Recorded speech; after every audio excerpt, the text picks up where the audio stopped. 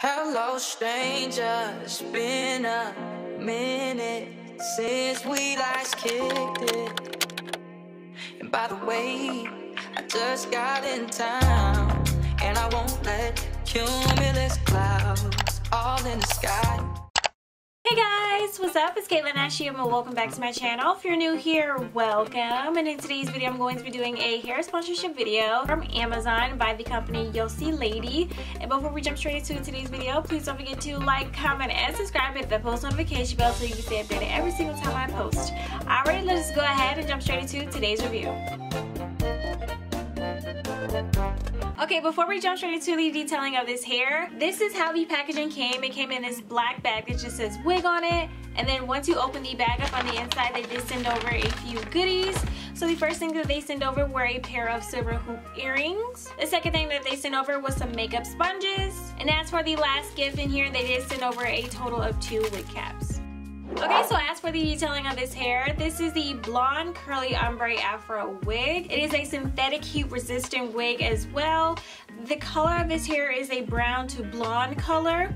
The length of this hair is 14 inches and this hair is 280 grams and the texture of this hair is kinky curly.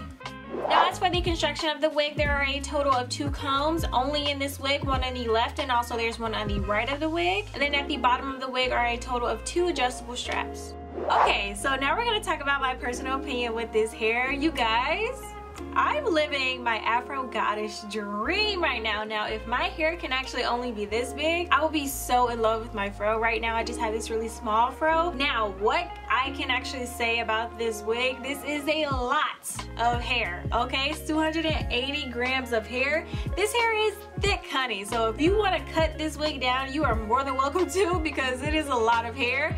But this will be a fun wig to wear to like events or a fun wig to do a photo shoot in or just something you want to wear to a party, which is pretty much an event like I said earlier. But for the most part, this hair is so freaking cute. Now, I wouldn't say this will be an everyday wig personally for me because it is a lot of hair and I'm already getting hot wearing this wig first and foremost. But for the most part, I am absolutely in love with this hair. This hair is so bomb and I can't stop looking at it in my little viewfinder over here, but girl, this is so cute. I love this wig a lot. So if you are interested in this wig at all I will be leaving links down below for sure. And also I do want to note this wig like if you're allergic to synthetic hair like I am um try to make sure that you cut the hair from off of your neck so it's not touching your skin as much but then again it's still touching your face. But for the most part if you want to cut all of that out just to get it away from your face I will say do that. Or either you could just move the hair back from out of your face so that way it's not touching your face. But alright guys so that's pretty much everything that I have for you in today's video. If you have any more questions, do make sure that you comment down in the comment section below. But before we end off today's video, please don't forget to give my video a huge thumbs up, and I'll catch y'all on my next video. Bye!